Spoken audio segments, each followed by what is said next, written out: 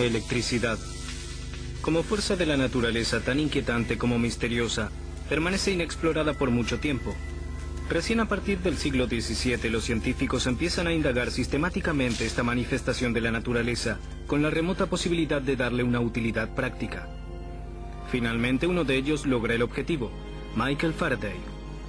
En 1821 el inglés construye el primer prototipo de un motor eléctrico y 10 años más tarde el del primer generador.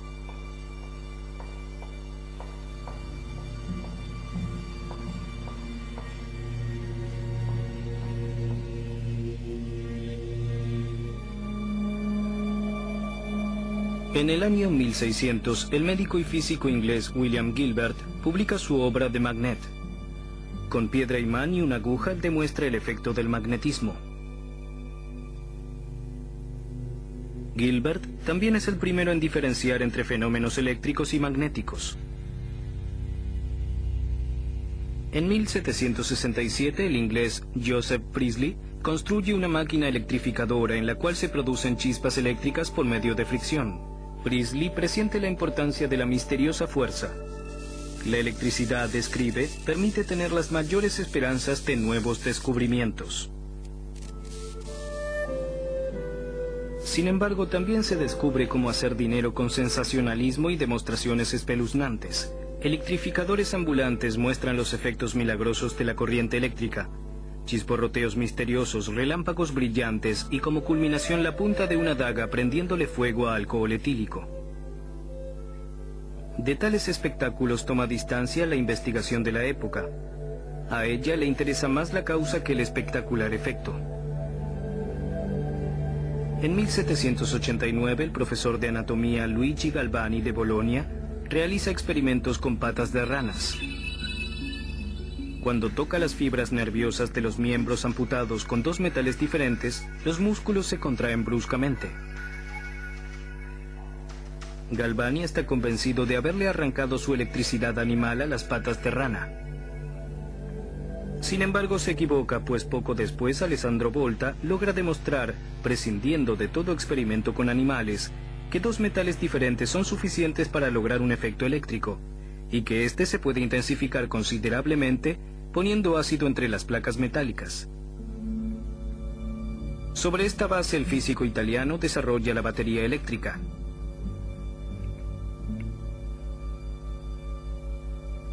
La pila voltaica por primera vez hace circular una corriente eléctrica en forma continua, un paso decisivo para la posterior exploración de la electricidad.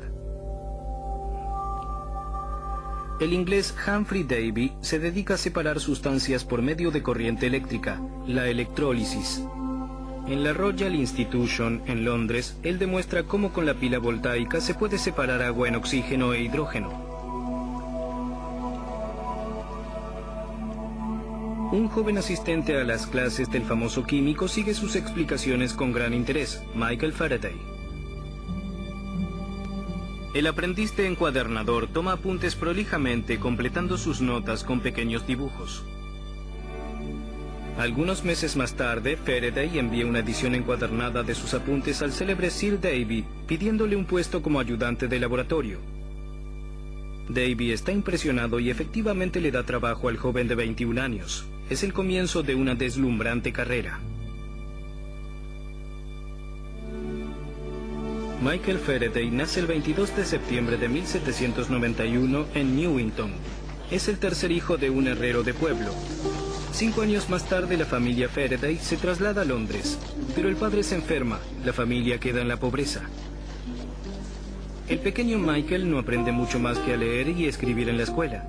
Luego tiene que ayudar a mantener a la familia como mandadero. A los 13 años comienza como aprendiz en el taller de un encuadernador, Allí el muchacho ávido de saber tiene acceso a libros. Descubre un tomo de enciclopedia británica con artículos sobre electricidad. Fascinado Faraday comienza a reproducir aparatos y baterías. Se ha despertado su pasión por investigar. En su primer año como empleado de Davy, Faraday lo acompaña como secretario y sirviente en un gran viaje por Europa. El itinerario los lleva a París, Florencia, Roma y Nápoles. Faraday conoce a lo más destacado de la ciencia europea. En los años posteriores, Faraday asciende asistente científico en la Royal Institution. Comienza él mismo a dictar conferencias. Al igual que muchos científicos de su época, también él está fascinado por un experimento del físico Hans Christian Ørsted, en 1819, el dinamarqués había logrado desviar una aguja de brújula mediante corriente eléctrica, una primera demostración de que existe una relación entre electricidad y magnetismo.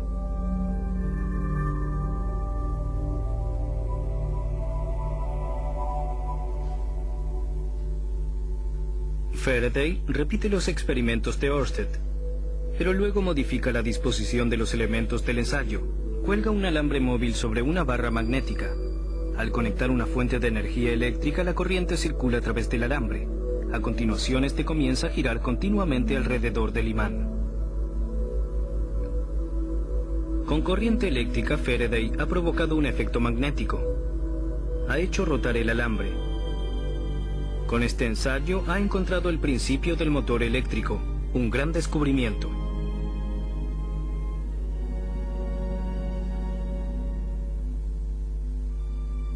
No obstante, Faraday no se da por satisfecho.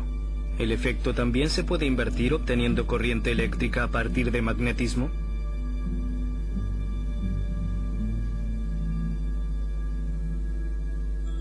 Conecta una pila voltaica con los extremos de un alambre enrollado alrededor de un anillo de hierro.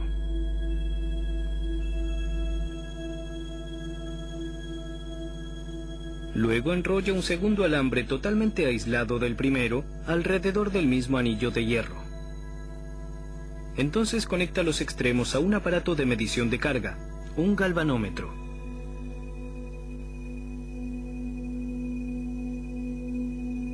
Cuando en la primera bobina de alambre comienza a circular la corriente, se forma un campo magnético en el anillo de hierro. En la segunda bobina de alambre se produce una breve descarga eléctrica, la consecuencia, la aguja del imán del galvanómetro oscila brevemente. Pero luego, a pesar de que la corriente aún sigue circulando en la primera bobina, ya no se ve oscilación alguna de la aguja. Cuando Faraday interrumpe la corriente, la aguja vuelve a oscilar, pero ahora en la dirección opuesta.